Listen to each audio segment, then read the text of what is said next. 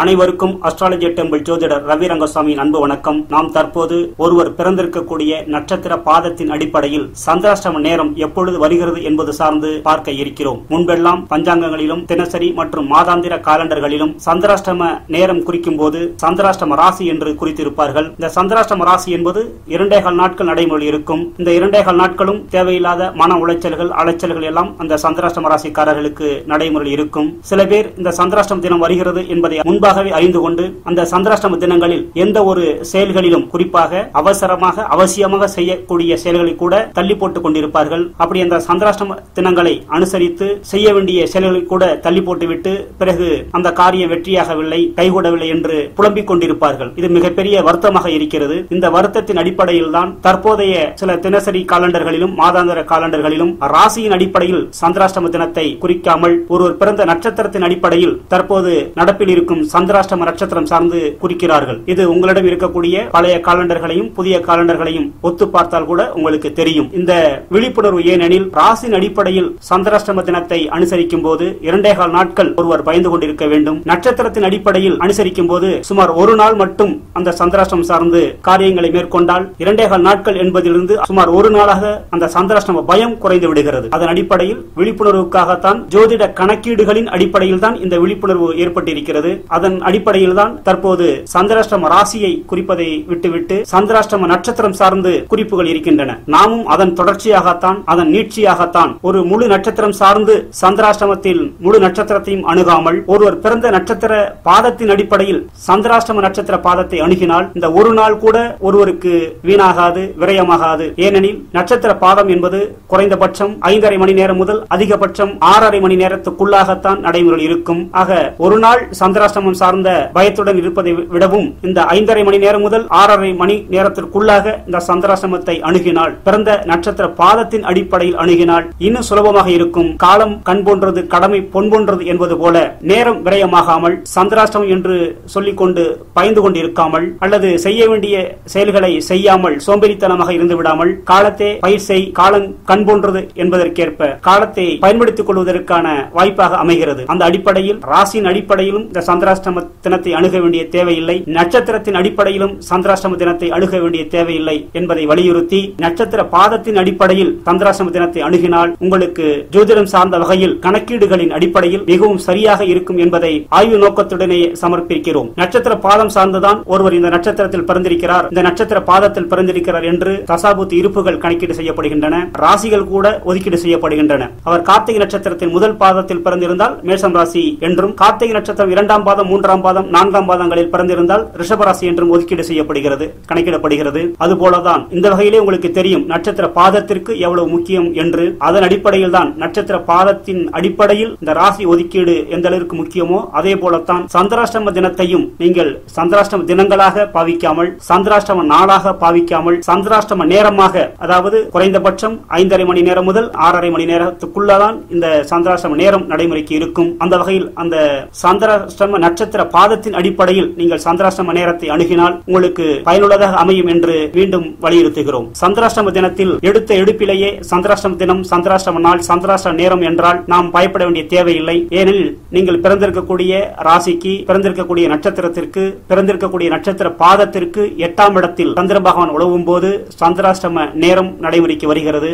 அந்த எட்டாம் இடத்தில் பாதத்தின் அடிப்படையில் சொல்கிறோம். ராசியாக இருந்தாலும் சரி நட்சத்திரமாக இருந்தாலும் சரி பாதத்தின் அடிப்படையில் இருந்தாலும் சரி அந்த எட்டாம் இடத்தில் சந்திர பகவான் பல வகையான யோகங்களிலும் உழவ வாய்ப்பு இருக்கிறது அப்படித்தான் ஜோதிட நூல்கள் சொல்லுகின்றன நம்முடைய அனுபவத்திலும் இருக்கிறது. அந்த வகையில் உங்களுடைய நட்சத்திர பாதத்தின் அடிப்படையில் எட்டாம் இடத்தில் சந்திராஷ்டம நட்சத்திரம் வரக்கூடிய அந்த நட்சத்திர பாதத்தில் சந்திர பகவான் உழவும் போது அந்த சந்திர பகவான் அந்த இடத்தில் ஆட்சியாக கூட உழவலாம். குறிப்பாக நீங்கள் தனுசு ராசிக்காரர்கள் என்றால் சந்திர பகவான் எட்டாம் இடத்தில் தன்னுடைய சொந்த வீட்டில் கடக வீட்டில் உழவும் போது ஆட்சி யோகத்துடன் உழவுவார். இதுதான் உதாரணம். அதே போல துலாம் ராசிக்காரர்களுக்கு சந்திர பகவான் எட்டாம் இடத்தில் உச்ச யோகத்துடன் உழவு உழவுவார் ஜோதிட யோகங்களின்படி சந்திர பகவான் சந்திராஷ்டம நட்சத்திர பாதத்தில் நீச்சப்பங்க ராஜயோகத்திலும் உழவலாம். நீச்சனை நீச்சன் பார்த்தால் நிலைத்திடும் ராஜயோகத்திலும் உழவலாம். குருமங்கல யோகத்தில் உழவலாம். குருச்சந்திரன் யோகத்தில் உழவலாம். கஜகேசரி யோகத்தில் உழவலாம். பரிவர்த்தனை யோகத்தில் உழவலாம். சங்கிலி பரிவர்த்தனை யோகத்தில் உழவலாம். அமாவாசை யோகத்தில் உழவலாம். பௌர்ணமி யோகத்தில் உழவலாம். வளர்புரை திதிகளில் உழவி சுப பலன்களை தரக்கூடிய சுப சந்திரனாக உழவலாம். விபரீத ராஜயோகத்தில் உழவலாம். கெட்டவன் கெட்டிடில் கிட்டிடும் ராஜயோகத்தில் உழவலாம். இப்படி ஜோதிட ரீதியாக பல வகையான யோகங்களில் இந்த சந்திர பகவான் நீங்கள் பிறந்திருக்கக்கூடிய ராசி மற்றும் நட்சத்திரம் மற்றும் நட்சத்திர பாதத்தின் அடிப்படையில் எட்டாவது ராசி மற்றும் நட்சத்திரம் மற்றும் நட்சத்திர பாதத்தில் இந்த சந்திர பகவான் இத்தனை வகையான யோகங்களிலும் இதற்கு மேலும் பல வகையான யோகங்களிலும் சந்திர பகவான் உழவலாம். அதற்கான வாய்ப்புகள் ஜோதிட விதிகளில் இருக்கிறது. அதையெல்லாம் அனுசரித்து உங்களுடைய பிறந்த ராசி மற்றும் நட்சத்திரம் மற்றும் நட்சத்திர பாதத்திற்கு எந்த நிலையில் இந்த எட்டாம் வீட்டில் இந்த சந்திர பகவான் உழவுகிறார் என்பதையும் அனுசரித்து தான் நீங்கள் இந்த சந்திராஷ்டிரம நேரத்தை அணுகினால் அந்த சந்திராஷ்டம நேரம் என்பது உங்களுக்கு யோகமான நேரமாக கூட அமையும். உங்களையும் மீறி நீங்கள் எதிர்பார்க்காத சில நன்மைகளை கொடுக்கக்கூடிய யோகமாக அமையும். அந்த வகையில் இந்த சந்திராஷ்டம நாள் சந்திராஷ்டம நேரம் சந்திராஷ்டமம் என்றாலே பயப்பட வேண்டிய தேவையில்லை. யோகத்துக்குட்பட்டதாக உழவும் என்பதும் நம்முடைய சான்றுகளாக அமைந்திருக்கிறது. அந்த வகையில் ஒவ்வொரு ராசியினருக்கும் ஒவ்வொரு நட்சத்திரத்தினருக்கும் ஒவ்வொரு நட்சத்திரத்தில் பிறந்த ஒவ்வொரு பாதத்தினருக்கும் சந்திர பகவான் எந்த ராசி எந்த நட்சத்திரத்தில் எந்த பாதத்தில் உடைவினால் சந்திராஷ்டமம் நடைமுறைக்கு வரும் என்பதை துல்லியமான கணக்கீடுகளின் அடிப்படையில் குறிப்பாக ஜோதிட விதிகளின் அடிப்படையில் நாம் இங்கு பரிந்துரை செய்கிறோம். அதை பயன்படுத்தி சந்திராஷ்டம ராசி ரீதியாகவோ சந்திராஷ்டம நட்சத்திர ரீதியாகவோ உங்களுடைய கால நேரத்தை நாட்களை வீணாக்கி விடாமல் இந்த சந்திராஷ்டம நட்சத்திர பாதத்தை அனுசரித்து அது யோகங்களுக்கு உட்பட்டதாக இருக்கிறதா என்பதை தெரிந்து கொண்டு விழிப்புணர்வுடன் இருந்து கொண்டு சந்திராஷ்டம நட்சத்திர பாத நேரத்தை அணுகும்படி அன்புடன் கேட்டுக்கொள்கிறேன். அந்த வகையில் ஒவ்வொரு ராசிக்காரர்களுக்கும் நட்சத்திரக்காரர்களுக்கும் நட்சத்திர பாதத்தில் பிறந்தவர்களுக்கு எந்த ராசியில் எந்த நட்சத்திரத்தில் எந்த பாதத்தில் சந்திராஷ்டம நேரம் வருகிறது என்பதை விளக்கமாக சொல்ல இருக்கிறோம். அதை புரிந்து கொண்டு விழிப்புணர்வுடன் இருந்து சந்திராஷ்டம நேரத்தை யோகமாக அனுபவித்துக் கொள்ளும்படி கேட்டுக்கொள்கிறோம். தற்போது நாம் ரிஷப ராசியில் பிறந்துள்ளவர்களுக்கு சந்திராஷ்டம நேரம் எந்த வகையில் யோகமானதாக இருக்கிறது என்பதை பார்ப்போம். ஆணி மாதத்தின் பௌர்ணமி திதியில் சந்திரபகவான் உழவும் போது சந்திராஷ்டம யோகமாக இருக்கிறது. மார்கழி மாதத்தில் அமாவாசை திதியில் சந்திரபகவான் உழவும் போது சந்திராஷ்டம நேர யோகமாக அமைகிறது. மேலும் இந்த ரிஷப ராசிக்கு மூன்றாம் அதிபதியான சந்திர பகவான் எட்டாம் இடமான தனுசு வீட்டில் உழவும் போதுதான் இந்த ரிஷப ராசிக்காரர்களுக்கு சந்திராஷ்டம நேரம் வருகிறது. அந்த வகையில் மூன்றாம் அதிபதி எட்டாம் இடத்தில் உழவினால் விபரீத ராஜயோகத்தை தரக்கூடிய அமைப்பு இருக்கிறது. சந்திரன் விபரீத ராஜயோக சந்திரனாக அமைகிறார். மேலும் மூன்றாம் அதிபதி எட்டாம் இடத்தில் உழவினால் கெட்டவன் கெட்டிடில் கிட்டிடும் ராஜயோகத்தை தரக்கூடிய ஒரு அமைப்பும் ஜோதிட விதிகளில் இருக்கிறது. சந்திர பகவான் சுப சந்திரனாக இந்த எட்டாம் இடத்தில் உழவும் போது விபரீத ராஜயோகத்தை தரக்கூடியவராகவும் அசுப சந்திரனாக இந்த எட்டாம் இடத்தில் உழவும் போது கெட்டவன் கெட்டிடில் கிட்டிடும் ராஜயோகத்தை தரக்கூடிய சந்திரனாகவும் உழவுகிறார். மேலும் கிரக அமைப்புகளின்படி பரிவர்த்தனை யோகத்துக்கு உட்பட்டும் சங்கிலி பரிவர்த்தனைகளுக்கு உட்பட்டும் அந்த சந்திராசம் நேரம் அமைவதற்கான வாய்ப்புகள் அதிகமாக இருக்கிறது. அந்த வகையில் ரிஷபராசியில் பிறந்த அமைந்துள்ள நட்சத்திர பாதத்தினருக்கு தனுசு ராசியில் சந்திரன் எந்த நட்சத்திரத்தின் பாதத்தில் உழவும் போது சந்திராசிரம நேரம் நடைமுறைக்கு வரும் என்பதை பார்ப்போம். ரிஷப ராசியின் கார்த்திகை நட்சத்திரத்தின் இரண்டாம் பாதத்தில் பிறந்துள்ளவர்களுக்கு சந்திர பகவான் தனுசு ராசியில் மூலம் நட்சத்திரத்தின் முதல் பாதத்தில் உழவும் போது சந்திராஷ்டம நேரம் நடைமுறைக்கு வருகிறது. ரிஷப ராசியின் கார்த்திகை நட்சத்திரத்தின் மூன்றாம் பாதத்தில் பிறந்துள்ளவர்களுக்கு சந்திர பகவான் தனுசு ராசியில் மூலம் நட்சத்திரத்தின் இரண்டாம் பாதத்தில் உழவும் போது சந்திராஷ்டம நேரம் நடைமுறைக்கு வருகிறது. ரிஷப ராசியில் கார்த்திகை நட்சத்திரத்தின் நான்காம் பாதத்தில் பிறந்துள்ளவர்களுக்கு சந்திர பகவான் தனுசு ராசியின் மூலம் நட்சத்திரத்தின் மூன்றாம் பாதத்தில் உழவும் போது சந்திராசிரம நேரம் நடைமுறைக்கு வருகிறது. ரிஷப ராசியின் ரோகிணி நட்சத்திரத்தின் முதல் பாதத்தில் பிறந்துள்ளவர்களுக்கு சந்திர பகவான் தனுசு ராசியில் மூலம் நட்சத்திரத்தின் நான்காம் பாதத்தில் உழவும் போது சந்திராசிரம நேரம் நடைமுறைக்கு வருகிறது. ரிஷப ராசியின் ரோகிணி நட்சத்திரத்தின் இரண்டாம் பாதத்தில் பிறந்துள்ளவர்களுக்கு சந்திர பகவான் தனுசு ராசியின் பூராட நட்சத்திரத்தின் முதல் பாதத்தில் உழவும் போது சந்திராசிரம நேரம் நடைமுறைக்கு வருகிறது.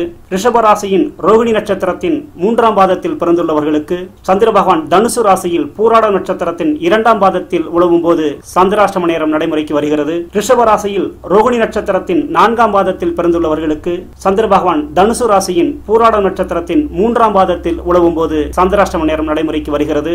ரிஷப ராசியில் மிருகசீரச நட்சத்திரத்தின் முதல் பாதத்தில் பிறந்துள்ளவர்களுக்கு சந்திர பகவான் தனுசு ராசியில் பூராட நட்சத்திரத்தின் நான்காம் பாதத்தில் உழவும் போது சந்திராஷ்டம நேரம் நடைமுறைக்கு வருகிறது. ரிஷப ராசியில் மிருகசீரிசம் நட்சத்திரத்தின் இரண்டாம் பாதத்தில் பிறந்துள்ளவர்களுக்கு சந்திர பகவான் தனுசு ராசியில் உத்திராடம் நட்சத்திரத்தின் முதல் பாதத்தில் உழவும் போது சந்திராஷ்டம நேரம் நடைமுறைக்கு வருகிறது. இந்த வகையில் இந்த ரிஷப ராசிக்காரர்கள் குறிப்பாக நட்சத்திரத்தின் பாதத்தில் பிறந்துள்ளவர்கள் தங்களுக்கு சந்திராஷ்டம நட்சத்திர பாதம் எது என்பதை தெரிந்து கொண்டு அந்த சந்திராஷ்டம நட்சத்திர பாத நேரத்தில் சந்திரன் உழவக்கூடிய திதி நிலைகளையும் கிரக நிலைகளையும் யோக நிலைகளையும் முன்கூட்டியே தெரிந்து கொண்டு இந்த சந்திராஷ்டம நேரத்தை யோகமானதாக அனுபவித்துக் கொள்ளும்படி அன்புடன் கேட்டுக்கொள்வது அஸ்ட்ராலஜி டெம்பிள் ஜோதிடர் ரவி ரங்கசாமி நன்றி வணக்கம். தேங்க்ஸ் ஃபார் வாட்சிங் இந்த வீடியோவை பார்த்ததற்கு நன்றி.